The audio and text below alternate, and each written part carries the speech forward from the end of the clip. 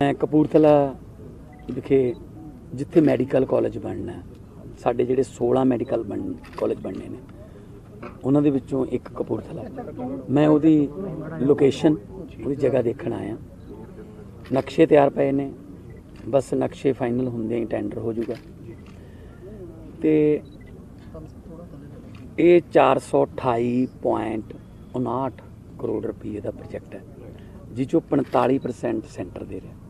55% state ਦੇ। ਰਿਹਾ ਤੇ 20 ਏਕੜ ਦਾ ਏਰੀਆ ਤੇ ਤੁਸੀਂ ਦੇਖਦੇ ਹੋ।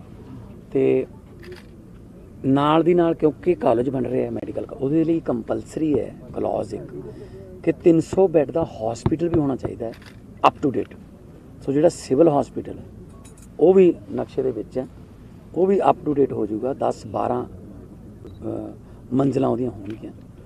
ਅਪ ਟੂ ਡੇਟ ਕਿਉਂਕਿ ਡਾਕਟਰਸ ਨੇ ਉੱਥੇ ਜਾ ਕੇ ਪ੍ਰੈਕਟਿਸ ਕਰਨੀ ਬਹੁਤ ਸਾਰੇ ਬਾਹਰਲੇ ਸੂਬਿਆਂ ਤੋਂ ਵੀ ਪੜ੍ਹਾਈਆਂ ਕਰਨ ਆਉਣਗੇ ਰੋਜ਼ਗਾਰ ਵਧੂਗਾ ਟੀਚਰ ਆਉਣਗੇ ਬੱਚੇ ਆਉਣਗੇ ਉਹਨਾਂ ਲਈ ਰਹਿਣ ਲਈ ਜਗ੍ਹਾ ਉਹਨਾਂ ਦੇ ਵਾਸਤੇ ਅਪਾਰਟਮੈਂਟਾਂ ਦੀ ਜ਼ਰੂਰਤ ਪਊਗੀ ਸਰ ਸੋ ਇਹ ਸਾਡੇ ਤਿੰਨ ਪ੍ਰੋਜੈਕਟ ਜਿਹੜੇ ਹੁਣ ਤੱਕ ਅਸੀਂ ਫਾਈਨਲ ਕਰ ਚੁੱਕੇ ਹਾਂ Kapurthala is one of them Sangrur Mastuana Sahib ਵਿਖੇ, ਸੰਤ ਬਾਬਾ ਆਦਰ ਸਿੰਘ ਜੀ ਗੁਰੂ ਨਾਨਕ ਸਾਹਿਬ ਦੇ ਨਾਮ ਤੇ ਕਪੂਰਥਲਾ ਤੇ ਹੁਸ਼ਿਆਰਪੁਰ। ਮੈਂ ਅੱਜ ਹੁਸ਼ਿਆਰਪੁਰ ਵੀ ਜਾਊਂਗਾ ਇਸ ਵਾਰ ਸੋ ਸਾਡਾ ਇਹ ਗਰੰਟੀ ਸੀ ਵਾਦਾ ਵੀ ਸੀ ਕਿ ਅਸੀਂ ਐਜੂਕੇਸ਼ਨ ਐਂਡ ਹੈਲਥ ਨੂੰ ਪ੍ਰੈਫਰ ਕਰਾਂਗੇ।